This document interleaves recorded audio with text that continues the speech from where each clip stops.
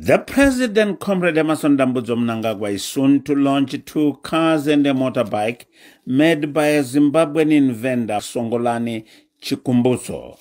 Chikumbutso, a 44-year-old man, a resident of Dziwaresekwa in Harare, dropped from school when he was in Form 2 due to financial constraints.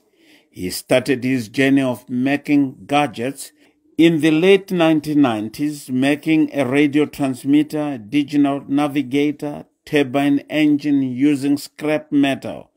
And in 2009, he began his journey into green energy. Hear him explain it to the President, Comrade Emerson Dambudzo Mnangagwa at State House.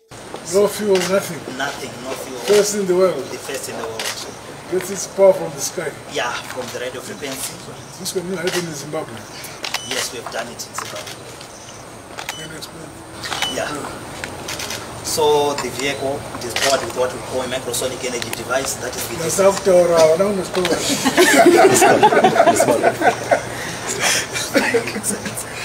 yeah, the, the, the, the vehicle it uses what we call the microsonic energy device. The microsonic energy device it is the the device that I personally invented in 2009, which harness radio frequencies, converted it into energy. As you know, radio frequencies they are measured in nano volts, meaning to say they are less than a volt. They are just like nothing. But we find a way of harnessing it through the the the creation of uh, the 70% of the components in the microsonic energy, which I've tailor-made, which I've designed.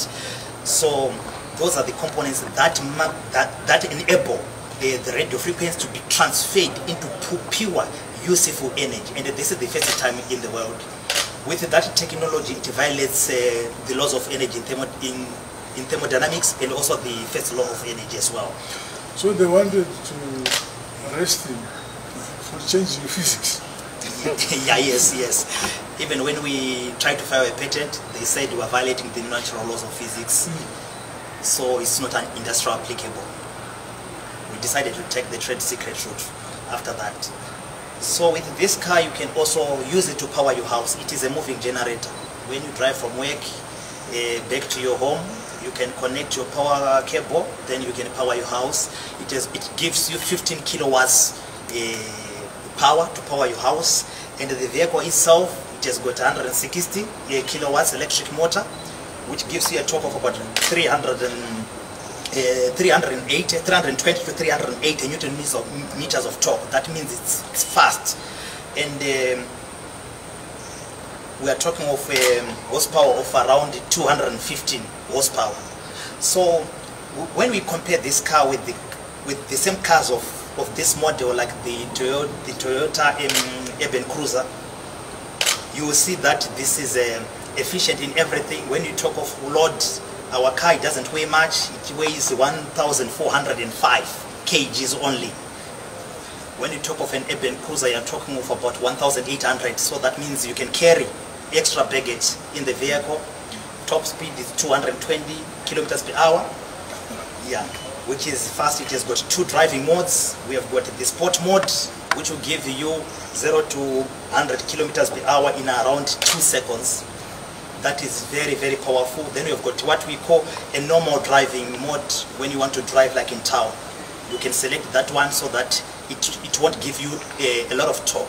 Chikumbutso also talks about his journey to Silicon Valley in the United States of America, where he was poisoned together with his partner, who passed on for defying the laws of physics. We were poisoned at that time. Dr. Teddy didn't make it. He died in January 2017. I survived by the grace of God. Uh, so I was always in Zimbabwe and United States of America until HE heard about myself. Then he invited The he- president. The president, yes. Then he invited me to, to, to, to come back and put my base in Zimbabwe. So right now I'm based in Zimbabwe. Best advantage ndeyekuti the driving range is unlimited haichajiswe haiitwe magetsi kungoramba muchidriva for the next 20 years. And the motikari zvatiri kutaura izvi yapa market dzasamurona yama number plates yeah, from 2015 we have been working hard testing it homologations cbca certifications iso certifications fcc standards zvese taanazvo saka yaroadworth even when it come to zimbabwe it went through vid saka yamotikari yakubvumidzwa kufamba parod You are the inventor. yeah i'm the one who invented the technology President Mnangagwa says he called him back home to do his work here in Zimbabwe and is happy to grace the occasion when the vehicles are launched. Is there any other vehicle in the world? uh, with this technology no, this is the first vehicle in the world Where is it? here in zimbabwe Yes, they wanted they said about them three million.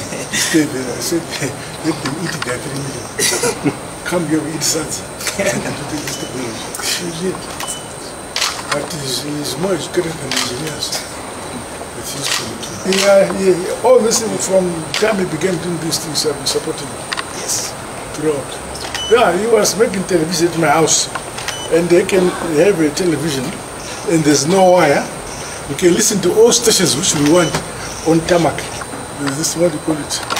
Um, drones Drone. yeah Says we'd make a drone. So he made one. This is about two years ago. yes yes We made a drone. You can make a drone from here. Just put up wires together and put something around it. You can fly to Cape Town and call it back.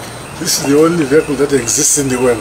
There's no other in the world. This is the only vehicle in the world and it is here in Zimbabwe by this young Zimbabwean.